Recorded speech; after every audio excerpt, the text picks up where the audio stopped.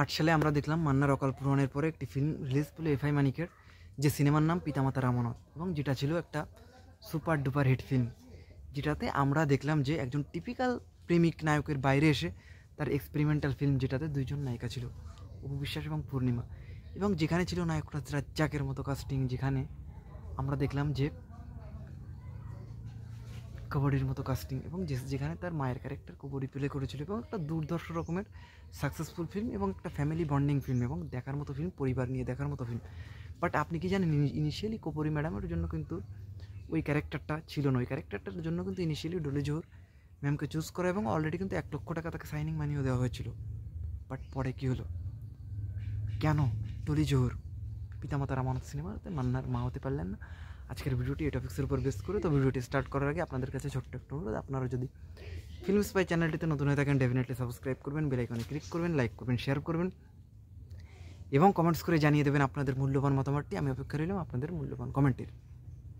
পিতা মাতার আমানত রক্ষার জন্য সন্তানের যে লড়াই, এরকম গল্পের প্রোডাকশন মান্নার প্রোডাকশনে এফআই মানিক বানালেন পিতামাতার আমানত যেটাতে তার পিতামাতার ক্যারেক্টারে আমরা পেলাম নায়করাজ রাজ্জাককে এবং আমরা পেলাম কবরীকে। কিন্তু আপনি কি জানেন যে তার মায়ের ক্যারেক্টারের জন্য কিন্তু ইনিশিয়ালি চুজ করা হয়েছিল ডলি জোহর ম্যামকে তো কেন তিনি মান্নার মা হতে পারলেন না সিনেমাতে গল্পটা আমরা ব্যাকে চলে যাব।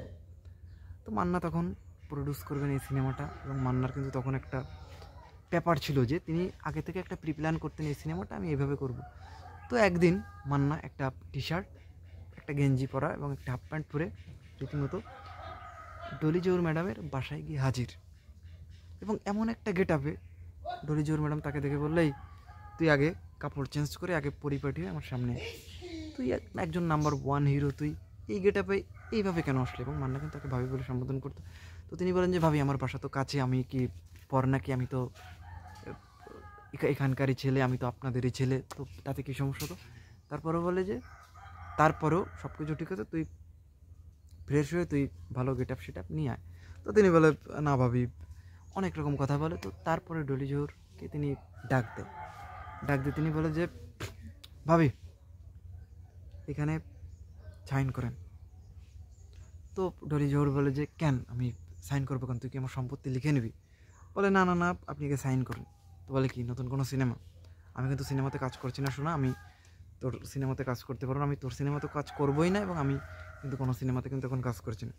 তো মান্না বলে, না না না, আপনি আগে আসুন, আপনি, আপনার সই করা লাগবে না, আপনি আগে আসুন। তো যায় না মান্না। তো মান্না কিন্তু তখন এক লক্ষ টাকা টেবিলের উপর রেখে কিন্তু চলে যায়।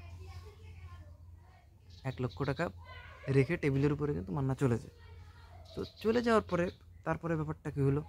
তখন কিন্তু ডলি চাউর ম্যাডাম, তিনি সিনেমাতে কাজ করছে না। এবং তিনি কাজ করবে না এবং এক লক্ষ টাকা দিয়ে গিয়েছে মান্না তার একটা চাপ কিন্তু রয়েছে। তো তখন তিনি সন্ধ্যার সময় মান্না যখন বাসায় নেই, তখন মান্নার ওয়াইফকে ফোন করে বলে যে, দেখো, মান্না তো পাগলামি শুরু করেছে, আমি তো সিনেমাতে কাজ করছি না, আমি তো কাজ করব না। তো ও এক লক্ষ টাকা আমাকে দিয়ে গিয়েছে।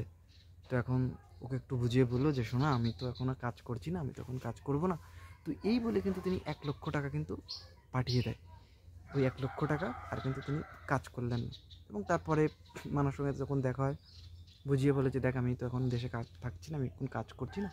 তো এইভাবে কিন্তু অনেক বনিবুনার মধ্য দিয়ে কিন্তু তাদের আসলে একটা ব্যাপার কিন্তু হয় যে, আর তিনি কাজ করেন না। এটা তিনি বুঝিয়ে বলেন। এবং তার পরপরই কিন্তু এই সিনেমাতে কিন্তু কাজ চলে যায় কুপুরি ম্যাডামের হাতে এবং পিতামাতার আমানতের ওই মান্নার মায়ের ক্যারেক্টারটা আর করা হয় না। ডলি জোহর ম্যাডামের কাজটা করে। কুপুরি ম্যাডাম। তো এটা ছিল একটি পিতামাতার আমানত। সিনেমার পেছনের গল্প। ভিডিওটি ভালো লাগলে লাইক করবেন শেয়ার করবেন কমেন্টস করে জানিয়ে দেবেন আপনাদের মূল্যবান মতামতটি। আমি অপেক্ষা রইলাম আপনাদের মূল্যবান কমেন্টের